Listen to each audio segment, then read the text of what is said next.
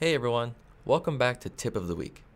For this week's video, I want to show you how you can easily edit a Milky Way photo inside ON1 Photo Raw 2019. So to get started with our Milky Way shot, I'm actually not going to modify anything inside of my Develop tab here.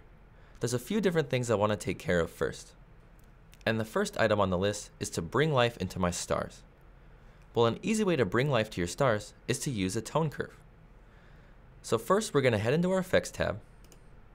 We're going to add a filter. And we'll add our Curves filter. And inside our tone curve, we're going to use this to create contrast and then pull up on our highlights and midtones to bring out all of the light in these stars.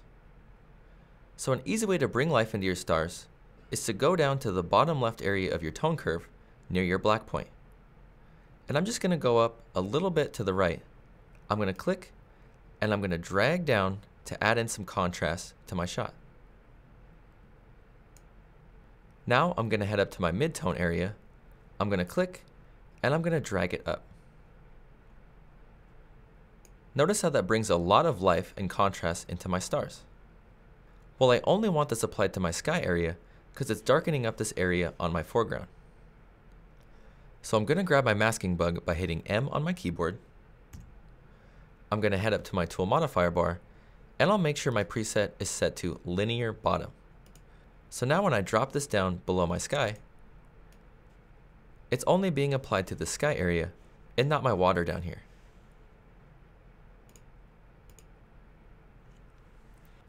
So now that we've modified our sky area with the stars, we need to bring a little bit more life into our foreground.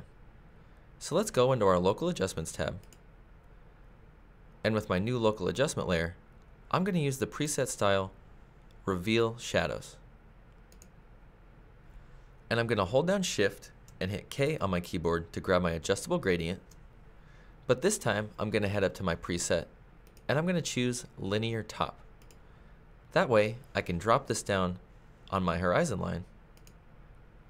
And now it's only being applied to my foreground area.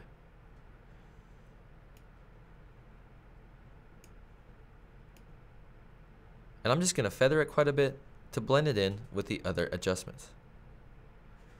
Now I can head over to that adjustment and I can pull back on the opacity to make it look more natural.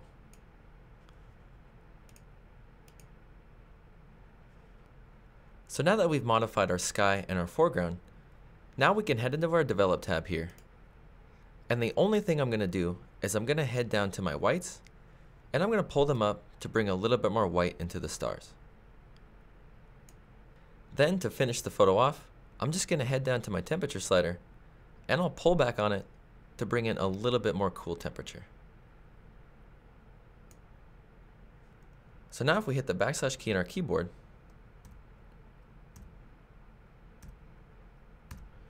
we've done a good job of bringing out all of the light in those stars and really giving this Milky Way photo a boost.